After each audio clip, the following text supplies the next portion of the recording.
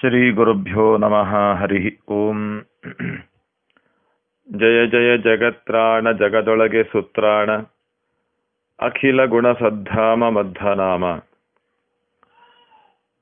ಶ್ರೀ ಶ್ರೀಪಾದರಾಜರು ಜೀವೋತ್ತಮರಾದಂಥ ಮುಖ್ಯಪ್ರಾಣದೇವರ, ಶ್ರೀ ಭೀಮಸೇನ ದೇವರ ಅವತಾರದಲ್ಲಿ ಮಾಡಿದ ಅಸಾಧಾರಣವಾದಂತಹ ಲೀಲೆಗಳನ್ನು ವರ್ಣನೆ ಮಾಡ್ತಾ ಒಂದು ಸ್ಪಷ್ಟ ಚಿತ್ರಣವನ್ನು ಕೊಟ್ಟು ಅನುಗ್ರಹ ಮಾಡಿದ್ದಾರೆ. ತಮ್ಮ ಮಧ್ಯನಾಮ ಕೃತಿಯಲ್ಲಿ ಮೂಲ ರೂಪದ ವರ್ಣನೆ, ಮೊದಲನೇ ಅವತಾರ ಹನುಮದ್ವ ಅವತಾರದ ವರ್ಣನೆ, ಹಾಗೆ ಭೀಮಾವತಾರದ ವರ್ಣನೆಯನ್ನು ಮುಗಿಸುವ ಸಂದರ್ಭದಲ್ಲಿ ಸಮಗ್ರ ಭೀಮಾವತಾರದ ಚಿತ್ರಣವನ್ನು, ಎಲ್ಲ ಘಟನೆಗಳನ್ನು ಸಮೀಕರಿಸಿಕೊಂಡು ಭೀಮಸೇನ ದೇವರ ವಿಶೇಷತೆಯನ್ನು ತಿಳಿಸಿಕೊಡ್ತಾರೆ. ಭೀಮಸೇನ ಸಮೋನಾಸ್ತಿ ಸೇನೆಯೋರುಭಯೋರಪಿ ಪಾಂಡಿತ್ಯೇ ಚ ಪಟುತ್ವೇ ಚ ಶೂರತ್ವೇ ಚ ಬಲೇಪಿ ಚ ಎನ್ನುವಂತಹ ಮಾತಿಗೆ ಅನುವಾದವನ್ನು ಮಾಡುವ ಕ್ರಮದಲ್ಲಿ ನಿರೂಪಣೆ ಮಾಡ್ತಿದ್ದಾರೆ. ಚಂಡ ವಿಕ್ರಮನು ಗದೆಗೊಂಡು ರಣದೊಳಗೆ ಭೂಮಂಡಲದೊಳು ಉದ್ಭವಿಸಿದ ಅಖಿಲ ಖಳರ, ಹಿಂಡಿ ಬಿಸುಟಿದ ವೃಕೋದರಣ ಪ್ರತಾಪವನು ಕಂಡು ನಿಲ್ಲುವರಾರು ತ್ರಿಭುವನದಳು. ಬಹಳ ಸುಂದರವಾಗಿ ನಿರೂಪಣೆಯನ್ನು ಮಾಡ್ತಿದ್ದಾರೆ. ಭೀಮಸೇನ ದೇವರ ಪರಾಕ್ರಮ ಅದು ವರ್ಣನೆ ಮಾಡ್ಲಿಕ್ಕೆ ಸಾಧ್ಯ ಇಲ್ಲ. ಆದರೂ ಬಿಡುವಂತಿಲ್ಲ. ನಮ್ಮಿಂದ ಎಷ್ಟು ಸಾಧ್ಯವೋ ಅಷ್ಟಾದರೂ ಕೂಡ ಭೀಮಸೇನ ದೇವರ ಮಹಿಮೆಯನ್ನ ವರ್ಣನೆ ಮಾಡಬೇಕು. ಎಷ್ಟು ಅವರ ವರ್ಣನೆಯನ್ನು ಮಾಡ್ತೇವೋ ಅಷ್ಟು ಕಲಿಬಾಧೆ ದೂರವಾಗತ್ತೆ ನಮ್ಮಿಂದ.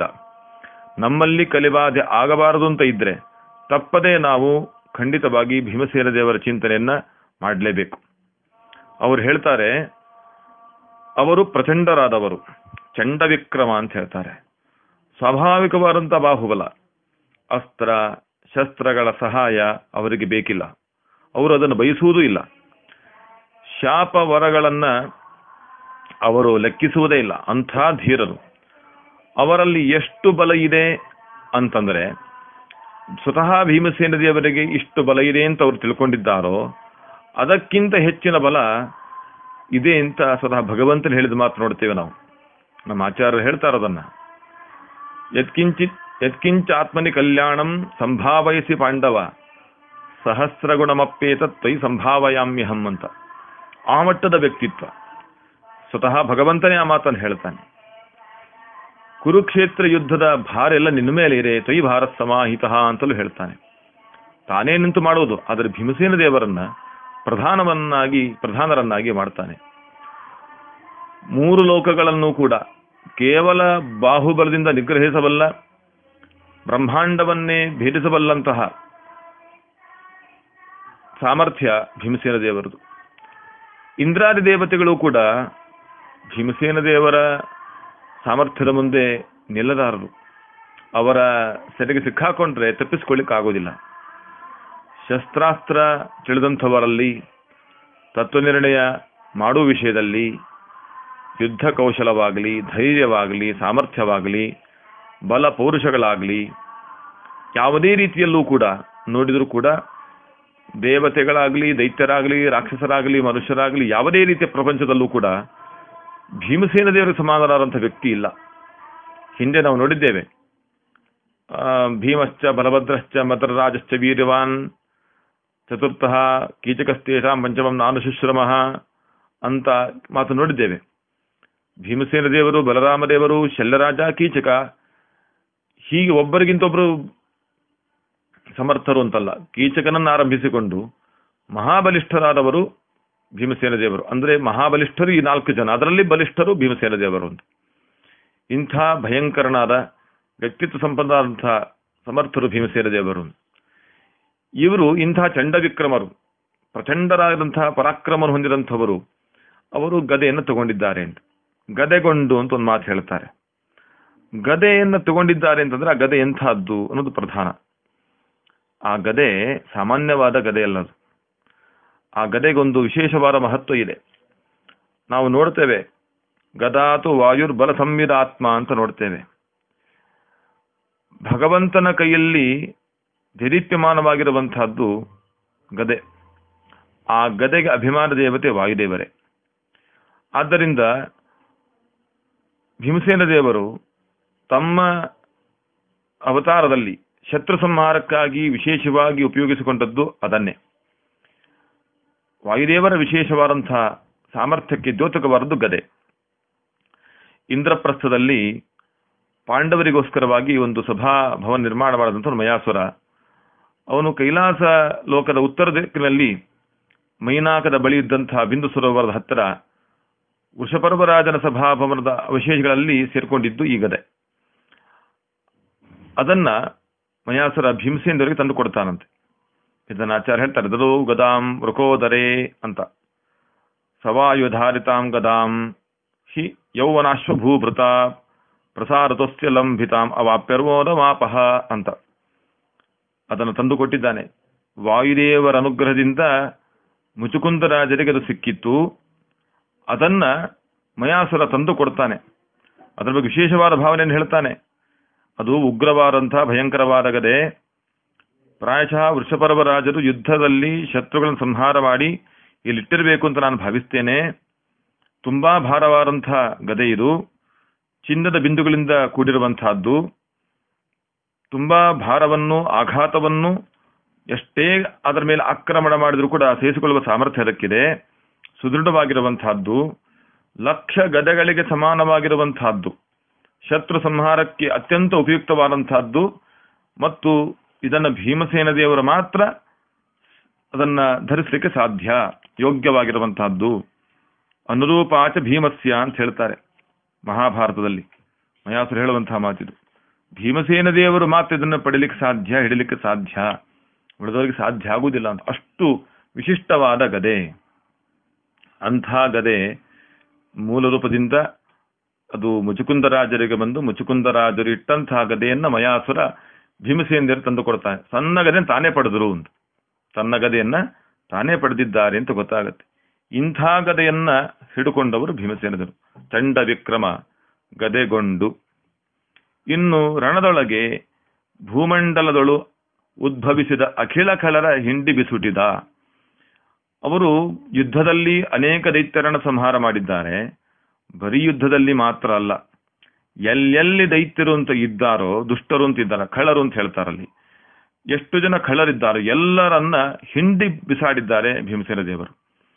ಭೂಮಂಡಲದಲ್ಲಿ ಅಂತ ಹೇಳ್ತಾರೆ. ಭೂಮಿಯ ಭಾಗಗಳನ್ನ ಹುಡುಕಿ ಹುಡುಕಿ ಹೋಗಿ ಸಂಹಾರ ಮಾಡಿದ್ದಾರಂತೆ. ಈ ಮಾತನ್ನು ಯಾಕೆ ಹೇಳಿದ್ರು ಅಂದ್ರೆ, ಭೀಮಸೇನ ದೇವರ ಉದ್ದೇಶ ಶತ್ರು ಸಂಹಾರ ಅಂತ ಅಲ್ಲ. ನಮಗೆ ಅನಿಸುವುದೇನು ಭೀಮಸೇನ ದೇವರ ಕಥೆ ಕೇಳಿದಾಗ ಶತ್ ತಮ್ಮ ಶತ್ರುಗಳನ್ನು ಸಂಹಾರ ಮಾಡಿದರು ಅಂತ ಇಷ್ಟೇ ನೋಡಿಬಿಡ್ತೇವೆ. ಅತ್ಯಂತ ಸಂಕುಚಿತವಾದ ಒಂದು ಯೋಚನೆ ಆಗುತ್ತೆ ಇದು. ಭೀಮಸೇನ ದೇವರು ಎಂದಿಗೂ ತನ್ನವರು, ಬೇರೆಯವರು ಅಂತ ಭಾವನೆ ಮಾಡಿಕೊಂಡವರಲ್ಲ. ಅವರಿಗೆ ಒಂದೇ ಉದ್ದೇಶ, ಯಾರು ದುಷ್ಟರೋ ಅವರ ಸಂಹಾರ ಮಾಡುವುದು ಅಂತ. ದುಷ್ಟರು ಅಂದ್ರೆ ಯಾರು? ದೇವರಿಗೆ ವಿರುದ್ಧರಾದವರು, ಧರ್ಮಕ್ಕೆ ವಿರುದ್ಧರಾದವರು, ದೇಶಕ್ಕೆ ವಿರುದ್ಧರಾದವರು, ಪರಂಪರೆಗೆ ವಿರುದ್ಧರಾದವರು ಯಾರೋ, ಅಪ್ರಾಮಾಣಿಕವಾಗಿ ಬದುಕುವರು ಯಾರೋ, ಅವರು ದುಷ್ಟರು ಅಂತ. ಆ ರೀತಿ ದುಷ್ಟತ್ವವನ್ನು ನೋಡಿದಂಥವರು ಭೀಮಸೇನ ದೇವರು. ಭೀಮಸೇನ ದೇವರು ಅವರು ಮಹಾಭಾರತ ಯುದ್ಧದಲ್ಲಿ ಸಂಹಾರ ಮಾಡಿದ್ದಾಗಲಿ, ಹಿಂದಿನ ಅನೇಕ ಘಟನೆಗಳಲ್ಲಿ ಸಂಹಾರ ಮಾಡಿದ್ದು, ಇವೆಲ್ಲ ಏನಿದೆ? ತಮ್ಮ ಶತ್ರುಗಳಾದ್ದರಿಂದ ಅಂತ ನಾವು ಭಾವಿಸುವುದು ತಪ್ಪಾಗುತ್ತೆ. ಯಾಕೆಂದ್ರೆ ಅವರು ಮಾಡಿದ್ದೇನೆಂದ್ರೆ ಅವರು ಭಗವದ್ವೇಷಗಳನ್ನು ಮಾತ್ರ ಕೊಲ್ಲಬೇಕು, ಸಂಹಾರ ಮಾಡಬೇಕು ಅಂತ ಸಂಕಲ್ಪ. ಹಾಗಾಗಿ ನಾವು ಆಚಾರ ಮಾತು ನೋಡ್ತೇವೆ. ಸಖ್ಯಂ ನಾವೈಷ್ಣವಶ್ಚಕ್ರೈ ಪ್ರತೀಪಂ ವೈಷ್ಣವೇನ ಚ ಅಂತ. ಭೀಮಸೇನದೇವರ ಸ್ವಭಾವ ಏನಂದ್ರೆ, ಅವೈಷ್ಣವರಲ್ಲಿ ಸಖ್ಯವನ್ನು ಮಾಡಲಿಲ್ಲ. ಸಖ್ಯಂ ನಾವೈಷ್ಣವೈ ಚಕ್ರೆ. ಅವೈಷ್ಣವರ ಜೊತೆಗೆ ಮೈತ್ರಿಯನ್ನ ಮಾಡ್ಕೊಳ್ಳಿಲ್ಲ, ಗೆಳೆತನವನ್ನು ಮಾಡ್ಕೊಳ್ಳಿಲ್ಲ. ಆಮೇಲೆ ವೈಷ್ಣವರ ಜೊತೆಗೆ ವಿರೋಧವನ್ನ ಕಟ್ಟಿಕೊಳ್ಳಿಲ್ಲ. ವೈಷ್ಣವರು ಯಾರೋ ಅವರ ಬಗ್ಗೆ ವಿರೋಧ ಇಲ್ಲ. ಅವೈಷ್ಣವರು ಯಾರೋ ಅವರ ಜೊತೆಗೆ ಸಖ್ಯ ಇಲ್ಲ. ಇದು ಅವರ ಸ್ವಭಾವ. ಈ ಮಟ್ಟದ ಚಿಂತನೆ ಅವರು ಯಾರು ವಿಷ್ಣು ದ್ವೇಷಗಳೋ ಅವರನ್ನ ಮೈತ್ರಿಯನ್ನು ಮಾಡ್ಕೊಳ್ತಿರ್ಲಿಲ್ಲ, ಜೊತೆಗೆ ಅವರನ್ನು ಬಿಡ್ತೂ ಇರಲಿಲ್ಲ. ವಿಷ್ಣು ದ್ವೇಷಗಳಾದ್ದರಿಂದ ಅವರನ್ನ ಸಂಹಾರ ಮಾಡಬೇಕು ಅಂತ ಅವರ ಉದ್ದೇಶ ಇತ್ತು. ಪಶ್ಯಶ್ರೀ ಭೀಮಸೇನಸ್ಯ ವೃಕೃಷ್ಣೇ ಭಕ್ತಿ ಅಚಂಚಲಾಂ. ನಾವರಿದ್ ವೈಷ್ಣವಂ ಯೋಸು ನಾಶೇಷದ ಅವೈಷ್ಣವಂ ಶ್ರೀಮದ್ ವಾದಿರಾಜ ಘೋಷಣೆ ಮಾಡ್ತಾರೆ. ನೋಡು, ಭೀಮಸೇನ ದೇವರ ಭಕ್ತಿ ಅಂತಹದ್ದು ಅಂತ. ಏನು ಅಂತಂದ್ರೆ ಅವರು ಒಬ್ಬ ವೈಷ್ಣವನನ್ನು ಸಂಹಾರ ಮಾಡಿಲ್ಲ. ಇಷ್ಟು ಯುದ್ಧಗಳಾಗಿದೆ. ಆ ಯುದ್ಧದಲ್ಲಿ ಒಬ್ಬ ವೈಷ್ಣವನನ್ನು ಸಂಹಾರ ಮಾಡಿದ್ದಿಲ್ಲ ಅವರು. ಮುಟ್ಲಿಲ್ಲ. ಅಂದ್ರೆ ಎಚ್ಚರಿಕೆ ಕೊಡ್ಲಿಕ್ಕೋಸ್ಕರವಾಗಿ ಒಂದ್ಸತಿ ಹೊಡೆದಿರಬಹುದೇನೋ ಏನೋ. ಭೀಷ್ಮದ್ರೋಣಾದಿಗಳು ನೋಡ್ತೇವೆ ನಾವು. ಆದರೆ ವಿಷ್ಣು ಭಕ್ತರು ಅಂತ ಆದಾಗ ಒಬ್ಬರನ್ನು ಸಂಹಾರ ಮಾಡಲಿಲ್ಲ. ಯಾರನ್ನು ಸಂಹಾರ ಮಾಡಿದ್ದು ಇತಿಹಾಸ ಇಲ್ಲ. ಆದರೆ ವಿಷ್ಣು ದ್ವೇಷ ಆಗಿದ್ದಾನೆ ಅಂತ ಆದರೆ ಅವನ, ಅವನು ಯಾರೇ ಆಗ್ಲಿ ಅವನನ್ನು ಬಿಡ್ತಿರಲಿಲ್ಲ. ಅವೈಷ್ಣವನಾದವನನ್ನ ಬಿಟ್ಟಿಲ್ಲ. ವೈಷ್ಣವನನ್ನ ಮುಟ್ಟಿಲ್ಲ. ಸಂಹಾರ ಮಾಡಿಲ್ಲ. ಈ ಸ್ವಭಾವದವರು. ಈ ದೃಷ್ಟಿಯಿಂದ ನೋಡಿದಾಗ ಅವರ ಉದ್ದೇಶ ಏನನ್ನಿಸುತ್ತೆ? ಖಳರನ್ನ ಹಿಂಡಿ ಬಿಸುಟಿದರು, ಬಿಸಾಡಿದರು. ಖಳರು ಅಂದ್ರೆ ಯಾರು ಇಲ್ಲಿ? ತನ್ನ ಶತ್ರು ಅಂತ ಭಾವಿಸಲಿಲ್ಲ. ಯಾರು ಭಗವದ್ವೇಷಿಗಳೋ, ಯಾರು ಅವೈಷ್ಣವರೋ, ಅವರು ಖಳರು ದೇವರು ಕೊಟ್ಟದ್ದನ್ನ ಉಪಯೋಗಿಸಿಕೊಂಡು ದೇವರಿಗೆ ಕೃತಜ್ಞರಾಗಿ, ದೇವರಿಗೆ ಎದುರಾಗಿರುವಂಥ ಅಯೋಗ್ಯರು ಯಾರೋ, ಅವರು ಅವೈಷ್ಣವರು, ಅವರೇ ಖಳರು ಇಂಥ ಕಳರನ್ನು ಸಂಹಾರ ಮಾಡಲಿಕ್ಕೆ ಬಂದವರು ಭೀಮಸೇನ ದೇವರು. ಹಾಗಾಗಿ ರಣದೊಳಗೆ, ಭೂಮಂಡಲದೊಳಗೆ, ಎರಡು ರೀತಿ ಇಟ್ಟುಕೊಳ್ಬೇಕದನ್ನ ಕೇವಲ ಯುದ್ಧದಲ್ಲಿ ಮಾತ್ರ ಅಲ್ಲ, ಭೂಮಂಡಲದಲ್ಲಿ ಉದ್ಭವಿಸಿದಂತ ಅ- ಅನೇಕ ಕಳರು ಎಷ್ಟೆಷ್ಟು ಕಳರಿದ್ರೋ ಎಲ್ಲಾ ಕಳರನ್ನ ಅಂದ್ರೆ ವಿಷ್ಣು ದ್ವೇಷಗಳನ್ನು ಹಿಂಡಿ ಬಿಸುಟಿದರು. ಅವರನ್ನ ಸಂಹಾರ ಮಾಡಿದರು ಅನ್ನುವಂತಹ ಮಾತನ್ನ ನೋಡ್ತೇವೆ. ಹೀಗೆ ಚಂಡವಿಕ್ರಮನು ಗದೆಗೊಂಡು ರಣದೊಳಗೆ ಭೂಮಂಡಲದಳು ಉದ್ಭವಿಸಿದ ಅಖಿಲ ಖಳರ ಅಖಿಲ ಶಬ್ದದಿಂದ ಯಾರನ್ನೂ ಬಿಟ್ಟಿಲ್ಲ ಅಂತ ತೋರಿಸಿಕೊಡ್ತಾರೆ. ಎಲ್ಲರ ಸಂಹಾರ ಮಾಡಿದ್ದಾರೆ ಅಂತ. ಇಂಥ ಭೀಮಸೇನ ದೇವರು ಯಾರವರು ಅಂದ್ರೆ ವೃಕೋದರ ಅಂತ ಕರೀತಾರೆ. ಬಿಸುಟಿದ ವೃಕೋದರನ ಪ್ರತಾಪವನು. ವೃಕೋದರ, ವೃಕ, ವೃಕೋದರ ಅಂದ್ರೆ ವೃಕ ಎನ್ನುವ ಅಗ್ನಿಯನ್ನ ಉದರದಲ್ಲಿಟ್ಟುಕೊಂಡವರು ವೃಕೋದರ. ವೃಕೋದರ ಶಬ್ದವನ್ನು ಹಾಕಿದ್ರಿಂದ ಏನು ಸೂಚನೆ ಮಾಡ್ತಿದ್ದಾರೆ ಅಂದ್ರೆ ಭೀಮಸೇನ ದೇವರು ನಿಜವಾದ ಪಾತ್ರವನ್ನು ತೋರಿಸಿಕೊಟ್ರು. ಭೀಮಸೇನ ದೇವರಂದ್ರೆ ದ್ವೇಷಗಳನ್ನು ಬಿಡೋದಿಲ್ಲ, ವಿಷ್ಣು ದ್ವೇಷಗಳನ್ನು ಬಿಡೋದಿಲ್ಲ, ಸಂಹಾರ ಮಾಡ್ತಾರೆ, ಪ್ರಚಂಡ ಪರಾಕ್ರಮಗಳಾಗಿದ್ದಾರೆ, ಇಷ್ಟು ಮಾತ್ರ ತೋರಿಸಿಕೊಟ್ಟಂತಾಗುತ್ತೆ. ಆದರೆ ಶಿಪಾದರಾಜರ ಉದ್ದೇಶ ಆ ವೃಕೋದರ ಶಬ್ದವನ್ನು ಹಾಕಿದ್ದರಿಂದ ಅವರ ನಿಜವಾದ ಸ್ವಭಾವ, ಅವರ ವ್ಯಕ್ತಿತ್ವ ಎಂಥದ್ದು ತೋರಿಸಿಕೊಡುವುದು. ಏನಂದ್ರೆ ನಾವು ಆಚಾರ ಮಾತಲ್ಲಿ ನೋಡ್ತೇವೆ. ಭಕ್ತಿರ್ಜ್ಞಾನಂ ಸವೈರಾಗ್ಯಂ ಪ್ರಜ್ಞಾ ಮೇಧಾ ಧೃತಿಸ್ಥಿತಿ ಯೋಗ ಪ್ರಾಣ ಬಲಂಚೈವ ವೃಕೋದರ ಇತಿ ಸ್ಮೃತಃ. ನಮ್ಮ ಆಚಾರರು ಮಹಾಭಾರತ ಎಲ್ಲಿದೆ ಅಂದ್ರೆ ನಮ್ಮಲ್ಲೇ ಇದೆ ಅಂತಾರೆ. ರಾಮಾಯಣ ಎಲ್ಲಿದೆ ಅಂದ್ರೆ ನಮ್ಮಲ್ಲೇ ಇದೆ ಅಂತಾರೆ. ಭಾಗವತ ಎಲ್ಲಿಂಟು ನಮ್ಮಲ್ಲೇ ಇದೆ ಅಂತ. ಆಧ್ಯಾತ್ಮಿಕ ಚಿಂತನೆಯನ್ನು ಕೊಡ್ತಾರೆ ಆಚಾರರು ಮಹಾಭಾರತ ಚಿತ್ರಣವನ್ನು ನಮ್ಮಲ್ಲೇ ಕೊಡ್ತಾರೆ. ಕುರುಕ್ಷೇತ್ರ ಯುದ್ಧ ಎಲ್ಲೂ ಆಗಿಲ್ಲ, ನಮ್ಮಲ್ಲೇ ಆಗಿದೆ. ದೇಹ ಎನ್ನುವ ಕುರುಕ್ಷೇತ್ರದಲ್ಲಿ ನಿತ್ಯದಲ್ಲಿ ಯುದ್ಧವಾಗ್ತಾ ಇರುತ್ತೆ ಕೌರವರಿಗೆ, ಪಾಂಡವರಿಗೆ. ಪಾಂಡವರಲ್ಲಿ ಐದು ಜನ, ಕೌರವರಲ್ಲಿ ನೂರು ಜನ. ಅಂದ್ರೆ ನೂರು ಜನ ಅಂದ್ರೆ ಕೌರವರು. ಅವರ ಹಿಂದೆ ಇನ್ನೂ ಅನೇಕ ಸೇನೆ ಇದೆ. ಪಾಂಡವರಲ್ಲಿ ಐದು ಜನ, ಅವರ ಹಿಂದೆ ಅನೇಕ ಸೇನೆ ಇದೆ. ಒಟ್ಟು ಹನ್ನೊಂದು ಅಕ್ಷಿಣಿ ಸೇನೆ, ಈ ಕಡೆ ಏಳು ಅಕ್ಷಿಣಿ ಸೇನೆ ಅಂತ. ಆದರೆ ಪ್ರಧಾನವಾದ ಪಾತ್ರಗಳು ಎಷ್ಟು? ಐದು, ಆ ಕಡೆ ನೂರು. ಇದರಲ್ಲಿ ಐದು ಜನ ಯಾರು? ಧರ್ಮರಾಜರು, ಭೀಮಸೇನ, ಅರ್ಜುನ ನಕುಲ ಸಹದೇವರು ದ್ರೌಪದಿ ದೇವಿ, ಕೃಷ್ಣ ಅಂತ ನೋಡ್ತೇವೆ. ಅಲ್ಲಿ ಆಚಾರ್ಯರು ಹೇಳ್ತಾರೆ, ಈ ಪಾತ್ರಗಳು ನಮಗೆ ಸಂಕೇತ ಆಗಿರುವಂತಹದ್ದು. ಆ ಧರ್ಮರಾಜ ನಮ್ಮಲ್ಲೇ ಇದ್ದಾರೆ. ನಮ್ಮಲ್ಲಿರುವಂತಹ ಧರ್ಮಾಚರಣೆಯೇ ಧರ್ಮರಾಜ ಇದ್ದಂತೆ. ನಮ್ಮಲ್ಲಿ ಭೀಮಸೇನ ದೇವರು ಇರಬೇಕಾದ್ರೆ ಆ ಭೀಮಸೇನ ದೇವರ ಪಾತ್ರ ನಮ್ಮಲ್ಲಿ ಇರಬೇಕಾದ್ರೆ ನಮ್ಮಲ್ಲಿ ನಮ್ಮ ಯೋಗ್ಯತೆಗೆ ತಕ್ಕಂತೆ ಭಕ್ತಿ ಇರಬೇಕು, ವೈರಾಗ್ಯ ಇರಬೇಕು, ಜ್ಞಾನ ಇರಬೇಕು, ಪ್ರಜ್ಞೆ, ಮೇಧ, ಧೃತಿ, ಸ್ಥಿತಿ, ಯೋಗ, ಪ್ರಾಣ, ಬಲ ಹತ್ತು ಗುಣಗಳಿರಬೇಕು. ಹತ್ತು ಗುಣ ನಮ್ಮಲ್ಲಿ ಇರುವುದಿಲ್ಲ ಅದು ಬರಬೇಕಾದ್ರೆ ಭೀಮಸೇನ ದೇವರ ಸನ್ನಿಧಾನ ನಮ್ಮಲ್ಲಿ ಇರಬೇಕು ಅಂದ್ರೆ ಆ ಗುಣಗಳು ಭೀಮಸೇನ ದೇವರ ಪಾತ್ರವನ್ನು ಸೂಚನೆ ಮಾಡ್ತಾವೆ. ಭೀಮಸೇನ ದೇವರ ಪಾತ್ರ ಈ ಗುಣಗಳನ್ನು ಸಂಕೇತಿಸ್ತದೆ ಅಂತ ಹೇಳ್ತಾರೆ. ಅರ್ಜುನರು ಅಂತಂದ್ರೆ ಶ್ರವಣ ಮನನ ನಿಧಿಧ್ಯಾಸನ. ಇದನ್ನ ಸಂಕೇತಿಸುವಂತವರು ಅರ್ಜುನರು. ಆಮೇಲೆ ವಿನಯ ಮತ್ತು ಸೌಶೀಲ್ಯಗಳು ನಕುಲ ಸಹದೇವರ ಪಾತ್ರ ಅಂತ ಹೇಳ್ತೇವೆ. ಹಾಗೆ ವೇದ ವಿದ್ಯೆ ಅಧ್ಯಾತ್ಮ ವಿದ್ಯೆ ಅದು ದ್ರೌಪದಿ ದೇವಿಯರು, ಅಂತರ್ಯಾಮಿಯಾದ ಶ್ರೀಕೃಷ್ಣನೇ, ಅಂತರ್ಯಾಮಿಯಾದ ಭಗವಂತನೇ ಶ್ರೀಕೃಷ್ಣ ಅಂತ ಪಾಂಡವರ ಪಾತ್ರ ಚಿಂತನೆಯನ್ನು ಮಾಡ್ತೇವೆ. ಹಾಗೆ ಅಜ್ಞಾನ, ಅದು ದುರ್ಯೋಧನ ರೂಪ. ಮಿಥ್ಯಾಜ್ಞಾನ, ಅದು ದುಶಾಸನ ರೂಪ. ನಾಸ್ತಿಕ್ಯ ಬುದ್ಧಿ ಅದು ಶಕುನಿ. ಅಹಂಕಾರ, ಅಶ್ವತ್ಥಾಮಾಚಾರ ರೂಪ. ಮಾತ್ಸರ್ಯ, ಅದು ಕರ್ಣನ ರೂಪ. ಹೀಗೆ ಅನೇಕ ರೀತಿಯ, ಒಂದು ರೀತಿಯಲ್ಲಿ ಆಧ್ಯಾತ್ಮ ಪರವಾದ ಚಿಂತನೆ ಕೊಡ್ತ ಆಚಾರ್ಯರು ನಮ್ಮ ದೇಹದಲ್ಲೇ ಮಹಾಭಾರತ ಯುದ್ಧ ನಡೀತಾ ಇದೆ. ನಾವು ಏನ್ ಮಾಡಬೇಕು? ಪಾಂಡವರ ಪಕ್ಷಕ್ಕೆ ಹೋಗಬೇಕೋ? ಕೌರವರ ಪಕ್ಷಕ್ಕೆ ಹೋಗಬೇಕು? ಯೋಚನೆ ಮಾಡಬೇಕಷ್ಟೆ. ಇದನ್ನ ಯಾಕೆ ಹೇಳಿದೆ ಅಂದ್ರೆ, ಅದು ನೆನಪಾಯ್ತು. ಆಚಾರ್ಯರ ಮಾತು ನೆನಪಾಯ್ತು. ವೃಕೋದರ ಶಬ್ದವನ್ನು ಇಲ್ಲಿ ಹಾಕ್ತಾ ಶ್ರೀಪಾದರಾಜರು ಅದೆಲ್ಲ ನೆನಪಿಸ್ತಾರೆ. ಶ್ರೀಪಾ, ಭೀಮಸೇನ ದೇವರು ಅಂದ್ರೆ ಯಾರು ಅಂದ್ರೆ ಭಕ್ತಿ. ಮಹಾತ್ಮ್ಯ ಜ್ಞಾನ ಪೂರ್ವಕವಾದ ಸುದೃಢ ಸ್ನೇಹ ತೇನಿದೆ. ಅಂತರಾಯ ಸಹಸ್ರೇಣಾಪಿ ಅಪ್ರತಿಬದ್ಧ ನಿರಂತರ ಪ್ರೇಮ ಪ್ರವಾಹ ಅಂತ ಟೀಕಾಚಾರ್ಯನು ಉಲ್ಲೇಖ ಮಾಡ್ತಾರೆ. ಆ ರೀತಿಯ ಉಲ್ಲೇಖದ ಸ್ಫೂರ್ತಿಪ್ರದರಾದ ಆಚಾರದ ಮಾತು ಏನಿದೆ? ಆ ಮಾತು ಸಂಪೂರ್ಣ ಮೂರ್ತಿಮತ್ತಾಗಿರುವಂತಹದ್ದು ಯಾವುದು? ಭೀಮಸೇನ ರೂಪದಲ್ಲಿ. ಅಂಥ ಭಕ್ತಿ ಭೀಮಸೇನ ದೇವರು. ವೈರಾಗ್ಯ. ರಾಗದ್ವೇಷಾದಿಗಳು ಇಲ್ಲದೇ ಇರತಕ್ಕಂಥ ಶುದ್ಧವಾದ ವೈರಾಗ್ಯ ಭೀಮಸೇನ ದೇವರದು. ಜ್ಞಾನ, ಶುದ್ಧವಾದ ತತ್ವಜ್ಞಾನ, ಭಗವಂತನ ಕಣ್ಣಾರೆ ಕಾಣುವಂತಹ ನಿತ್ಯಾಪರೋಕ್ಷ ಜ್ಞಾನ ಎನ್ನುವಂಥದ್ದು ಭೀಮಸೇನ ದೇವರಿಗೆ ಪ್ರಜ್ಞೆ, ಅದಕ್ಕೆ ಅವರಿಗೆ ಸೇನಾ ಅಂತ ಹೆಸರು. ನಿತ್ಯದಲ್ಲಿ ಭಗವಂತನ ಜೊತೆಗೆ ಇರುವುದರಿಂದ ಸೇನಾ ಅಂತ ಅವರಿಗೆ ಹೆಸರು. ಪ್ರಜ್ಞೆ, ಅತ್ಯಂತ ಶುದ್ಧವಾದ ತಿಳುವಳಿಕೆ, ನಿರ್ಣಾಯಕ ಶಕ್ತಿ ಮತ್ತು ಶೀಘ್ರವಾಗಿ ಗ್ರಹಣ ಮಾಡುವ, ಧಾರಣ ಮಾಡುವ ಸಾಮರ್ಥ್ಯ. ಇನ್ನು ಮೇಧ, ಕೇಳಿದ್ದನ್ನ ತಿಳಿದುಕೊಂಡು ಚಿಂತನೆ ಮಾಡುವಂತಹ ಸಾಮರ್ಥ್ಯ. ಧೃತಿ, ಅನಾತಂಕತೆ ನಿರಾತಂಕವಾಗಿರುವಂತಹದ್ದು ಧೈರ್ಯ ಸ್ಥಿತಿ ಅಂತ ಅರ್ಥ. ಸ್ಥಿತಿ ಅಂದ್ರೆ ಅಚಲತೆ. ತನ್ನ ಧರ್ಮದಿಂದ ಎಂದಿಗೂ ಚಂಚಲ ಆಗದೇ ಇರುವಂತಹ ಸ್ಥಿತಿ. ಯೋಗ. ಯೋಗ ಅಂದ್ರೆ ದೇವರಲ್ಲಿ ಸದಾ ಮನಸ್ಸಿಡುವಂತಹ ಒಂದು ಸಾಮರ್ಥ್ಯ ಅಥವಾ ದ್ವಂದ್ವ ಸಹಿಷ್ಣುತೆ. ಎಲ್ಲವನ್ನ ಗೆಲ್ಲುವ ಸಾಮರ್ಥ್ಯ. ಪ್ರಾಣ ಪ್ರಾಣ ಶಕ್ತಿ ಬಲ, ದೈಹಿಕ ಬಲ, ಒಟ್ಟು ಎಲ್ಲ ರೀತಿಯ ಬಲ. ಹೀಗೆ ಹತ್ತು ರೀತಿಯ ಗುಣಗಳು ಅಂತ ಏನಿವೆ, ಆ ಗುಣಗಳೇ ಮೂರ್ತಿಮತ್ ಸ್ವರೂಪರಾದವರು ವೃಕೋದರರು. ಅಂತ ಆಚಾರ ಹೇಳ್ತಾರೆ. ವೃಕೋದರ್ ಇತಿ ಸ್ಮೃತಃ. ಇಂಥ ಜ್ಞಾನ ಭಕ್ತಿ ವೈರಾಗ್ಯ ಸ್ವರೂಪರಾಗಿರುವಂಥ ಭೀಮಸೇನ ದೇವರ ಪ್ರತಾಪವನ್ನ ಕಂಡು ನಿಲ್ಲುವವರು ಯಾರು? ತ್ರಿಭುವನದಳು. ಮೂರು ಲೋಕದಲ್ಲಿ ಅವರ ಮಹಿಮೆಯನ್ನ ತಿಳ್ಕೊಂಡು ಬದುಕಲಿಕ್ಕೆ ಸಾಧ್ಯ ಇದೆಯಾ? ನೋಡ್ಲಿಕ್ಕೆ ಸಾಧ್ಯ ಇದೆಯಾ? ಅದನ್ನ ಎದುರಿಸ್ಲಿಕ್ಕೆ ಸಾಧ್ಯ ಇದೆಯಾ ಅಂತ ಪ್ರಶ್ನೆಯನ್ನು ಮಾಡ್ತಾರೆ.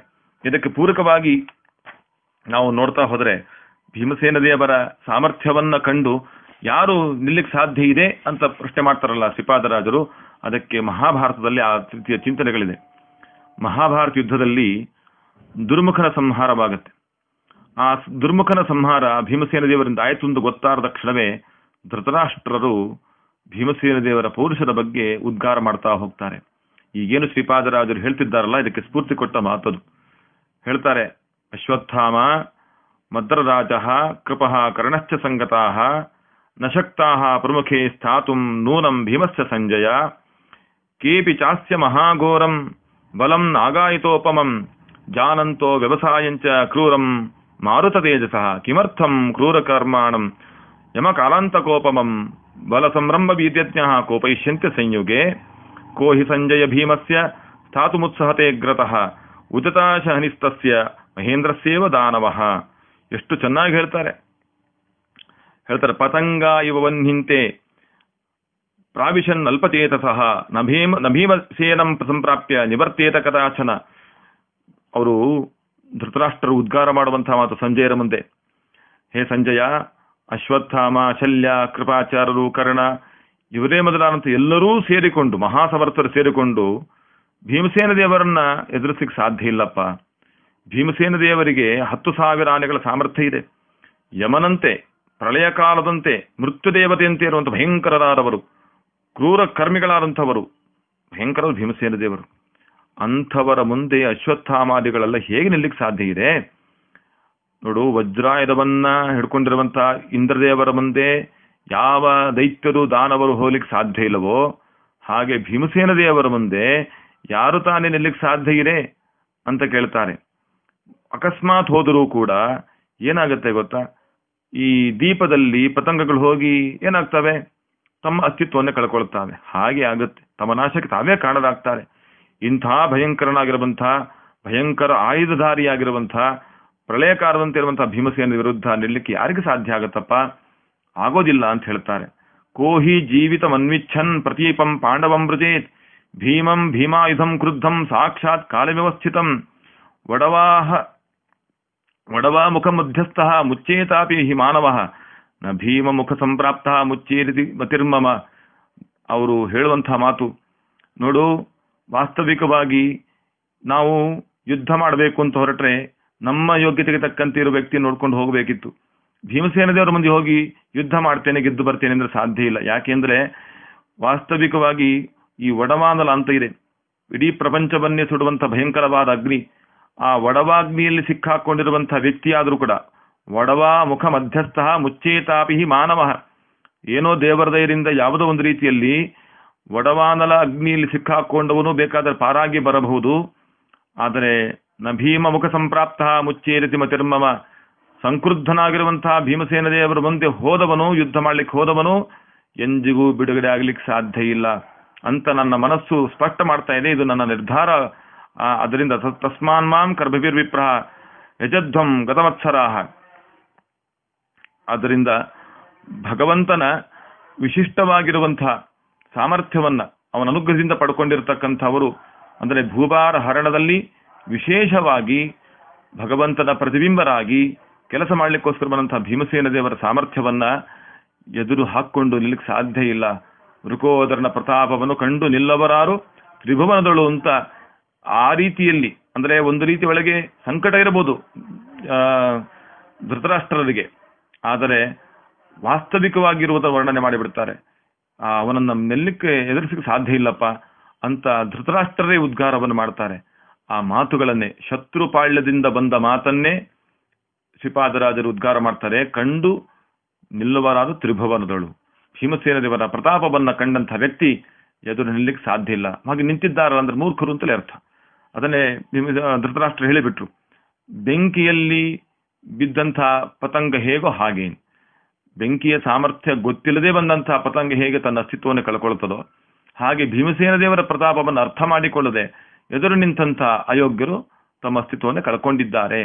ಅಂಥ ಪರಾಕ್ರಮಶಾಲಿಗಳಾದವರು ಭೀಮಸೇನ ದೇವರು ಅಂತ ವರ್ಣನೆಯನ್ನು ಮಾಡ್ತಾರೆ ಶ್ರೀಪಾದರಾಜರು. ಹೀಗೆ ಶ್ರೀಪಾದರಾಜರು ಪರಬ್ರಹ್ಮ, ಭಗವಂತನ ಮುಖ್ಯ ಪ್ರತಿಬಿಂಬರಾಗಿರುವಂತಹ ಭೀಮಸೇನ ದೇವರ ಪರಾಕ್ರಮವನ್ನ ಎಲ್ಲವನ್ನೂ ಸಮೀಕರಿಸಿಕೊಂಡು ಸುಂದರವಾಗಿ ನಿರೂಪಣೆ ಮಾಡ್ತಾ ನಮಗೆ ಭೀಮಸೇನ ದೇವರ ಪರಿಚಯವನ್ನು ಮಾಡಿಕೊಡ್ತಾರೆ.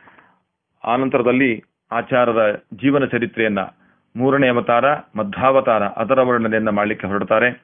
ಹಾಗಾಗಿ ನಾವು ಭೀಮಸೇನ ದೇವರ ಪಾತ್ರವನ್ನ ಯಥಾಶಕ್ತಿ, ಯಥಾಮತಿಯಾಗಿ ಚಿಂತನೆ ಮಾಡ್ತಾ, ಸ್ವಾಮಿ, ನಮಗೆ ಕಲಿಬಾಧೆ ಇದೆ ದುರ್ಯೋಧನ ದುಶಾಸನಾದಿ ಭಯಂಕರದ ದೈತ್ಯರ ಬಾಧೆ ನಮಗೆ ಇದೆ ಅಜ್ಞಾನ ಇದೆ, ವಿಪರೀತ ಜ್ಞಾನ ಇದೆ, ಭಯಂಕರವಾದ ಪ್ರವೃತ್ತಿಗಳಿವೆ. ಇದನ್ನೆಲ್ಲ ದೂರ ಮಾಡಿ ಶುದ್ಧ ಜ್ಞಾನ, ಶುದ್ಧ ಭಕ್ತಿ, ಶುದ್ಧ ವೈರಾಗ್ಯ, ಶುದ್ಧ ನಿಷ್ಠೆ, ಶುದ್ಧವಾದ ಜೀವನವನ್ನು ನಮಗೆ ಕೊಡಿ ಅಂತ ಪ್ರಾರ್ಥನೆಯನ್ನು ಮಾಡೋಣ. ಹಾಗಾಗಿ ಚಂಡ ವಿಕ್ರಮನು ಗದೆಗೊಂಡು ರಣದೊಳಗೆ ಭೂಮಂಡಲಳು ಉದ್ಭವಿಸಿದ ಅಖಿಲ ಕಲರ ಹಿಂಡು ಬಿಸುಟಿದ ವೃಕೋದರರು ಅಂತ ಹೇಳ್ತೇವೆ. ಸ್ವಾಮಿ ಅವ್ರನ್ನ ಕೇಳೋಣ. ಭೂಮಂಡಲ ರಣದೊಳಗೆ ಮಾತ್ರ ಕಳ್ಳರಿಲ್ಲ ನಮ್ಮಲ್ಲೇ ಇದ್ದಾರೆ. ಈ ದೇಹ ಎನ್ನುವಂತಹ ರಣದೊಳಗೆ ಈ ದೇಹ ಎನ್ನುವಂತಹ ಪಟ್ಟಣದ ಒಳಗೆ ಅನೇಕ ಖಳರಿದ್ದಾರೆ. ಅಜ್ಞಾನ, ವಿಪರೀತ ಜ್ಞಾನ, ಕಾಮಕ್ರೋಧಾದಿ ದೈತ್ಯರಿದ್ದಾರೆ. ಅದೆಲ್ಲವನ್ನೂ ಕೂಡ ಪರಿಹಾರ ಮಾಡಿ ಹಿಂಡು ಬಿಸುಟಿ ನಮ್ಮನ್ನ ಉದ್ಧಾರ ಮಾಡಿ ಅಂತ ವೃಕೋದರರನ್ನ ಪ್ರಾರ್ಥನೆ ಮಾಡೋಣ. ಆ ಪ್ರಾರ್ಥನೆ ಮಾಡೋ ಜೊತೆಗೆ ಈ ಚಿಂತನೆಯನ್ನ ನಮ್ಮ ಗುರುಗಳ ಅಂತರ್ಯಾಮಿಯಾದ ಶ್ರೀಪಾದರಾಜರ ಅಂತರ್ಗತನಾದಂಥ ಭಾರತೀಯ ರಮಣ ಮುಖ್ಯ ಪ್ರಾಣಾಂತರ್ಗತನಾದ ಪರಬ್ರಹ್ಮ ಶ್ರೀನಿವಾಸನ ಸಮರ್ಪಣೆ ಮಾಡ್ತಾ ನಿನ್ನೆ ದಿನ ಶ್ರೀ ವರದೇಶ ವಿಠಲದಾಸರ ಆರಾಧನೆ. ಹಾಗಾಗಿ ಅವರ ಮೂಲಕವಾಗಿ ಗುರುಗಳ ಮೂಲಕ ಭಗವಂತನಿಗೆ ಸಮರ್ಪಣೆಯನ್ನು ಮಾಡೋಣ. ಶ್ರೀಕೃಷ್ಣಾರ್ಪಣವಸ್ತು ವಸ್ತು ಶ್ರೀಮಧ್ವೇಶಾರ್ಪಣ ವಸ್ತು ಜಯ ಜಯ ಜಗತ್ರಾಣ, ಜಗದೊಳಗೆ ಸೂತ್ರಾಣ, ಅಖಿಲ ಗುಣ ಸದ್ಧಾಮ, ಮಧ್ವನಾಮ. ಶ್ರೀಕೃಷ್ಣಾರ್ಪಣ ವಸ್ತು ಶ್ರೀಮಧ್ವೇಶಾರ್ಪಣ ವಸ್ತು.